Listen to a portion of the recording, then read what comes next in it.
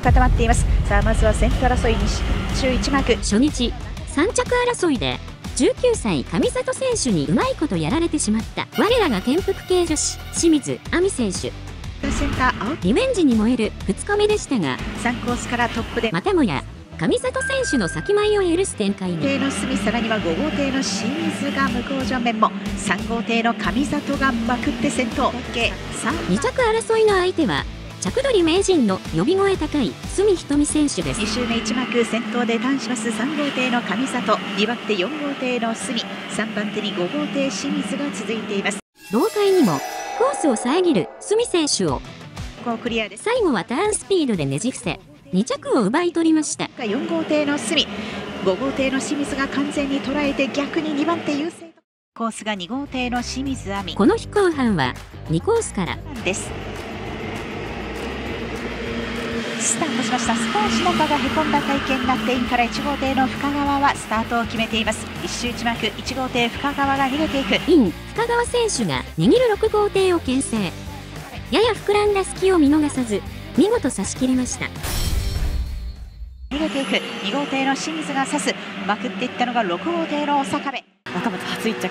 若松初一着です、はい、早速レース振り返っていきましょう、はい、スタートは、まあ、若松初めてですけどなんとなくつかめてはきましたか、はいそうですね。ちょっと潮の流れとかがあって難しいんですけど今のは天重量遅いと思ったんで全速で行きました、はい、そして一幕差しが届いてきました、はい、このターン周りの感触っていうのはいかがですか？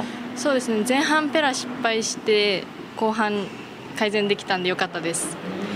直線部分っていうのも悪くはなさそうですかね？そうですね。刺されてたと思ったんですけどなんとか持ちこたえてたんで、うん、はい。よくいいと思いますまあ、手にしたモーターは前回有出モーターなんですが、はい、その感じっていうのは手応えはありそうですか？そうですね。ちょっといただいたまま乗ったら自分じゃ乗りこなせなかったんでちょっとペラは叩きながら乗ってるんですけど本体はエンジン自体はいいのかなと思います。それでは明日以降の戦いに向けて一言お願いします。全県日に妹の誕生日でした。葉月誕生日おめでとう。はいおめでとうございます。明日からも頑張ります。はいということでインには1号艇の清水亜美。1回走りの3日目はインコースから。スタートしました。第6レーススタートほぼ揃っていきました。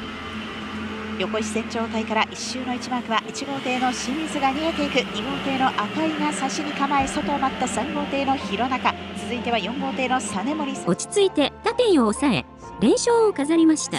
スタートは前提正常でした。1号艇の清水を押し切った2番手2号艇赤井の外に3号艇弘中。僅差では4号艇実森2マーク1号艇清水がトップで回った後4号艇の実森が先取ってきた。3号艇今井3番手6号艇の清水。失敗し予選最終レースこそ船券に絡めませんでしたが初登場の若松で準優進出です。